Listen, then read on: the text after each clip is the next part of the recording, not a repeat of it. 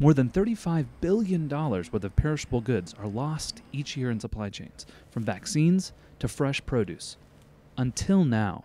Verigo is a technology company that brings a simple solution to prevent waste and improve quality in perishable supply chains. Our Internet of Things platform brings wireless intelligence to the distribution and storage of perishables every mile of the way. The first element is the hardware. These are our pods. They are durable, long lasting wireless sensors that can record and communicate environmental conditions in real time. The second element is the software.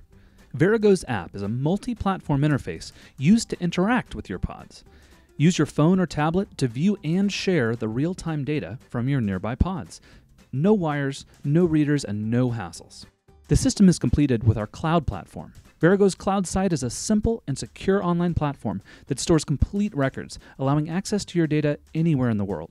Now let's take a look at Verigo's system in action. ABC Food Service is a fresh produce wholesaler that ships out multiple trucks every day, filled with fresh fruits and vegetables. Before sending out a truck, Ron places a wireless Verigo pod in the back of the truck so that conditions will be recorded during transit. Later, at ABC's other location, Ed is receiving the shipment of fresh fruits and vegetables. He locates the Verigo pod in the back of the truck and reads the data the pod was logging over the duration of the journey. Using the Verigo mobile app, Ed syncs the data on the pod automatically with Verigo's cloud platform.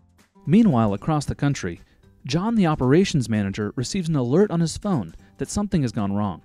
John can remotely analyze environmental conditions, see geolocation, and loading and unloading steps the shipment had along the way at any time and anywhere in the world through Verigo's cloud.